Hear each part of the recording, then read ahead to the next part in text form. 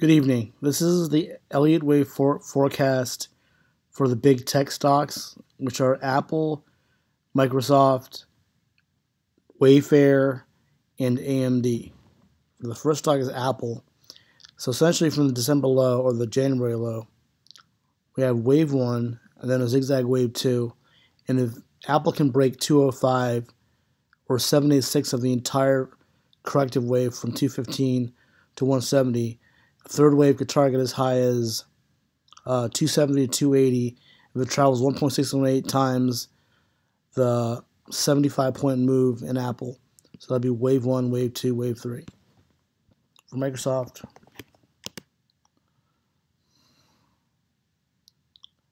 Microsoft is right in the middle of a third wave.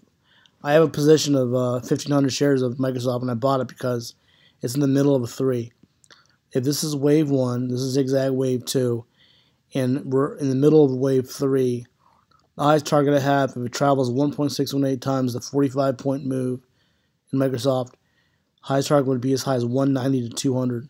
So wave one, zigzag wave two, into wave three. AMD.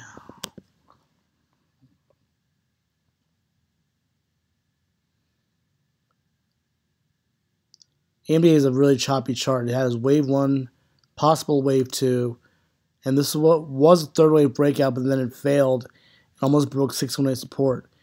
It held 29 or 618 support, which if it broke below that level, it may touch as low as 26 uh, $26. So this could be 1, 2, 3, 4, 5, down to 26. But if it can hold 29 and break 33, the highest target I have is 48 to 50 in the third wave.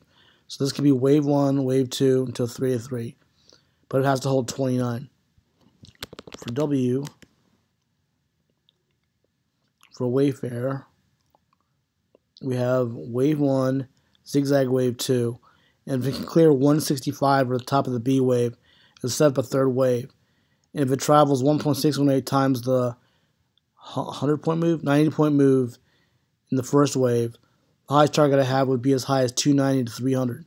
That'd be wave one, zigzag wave two, and wave three. That's a wrap.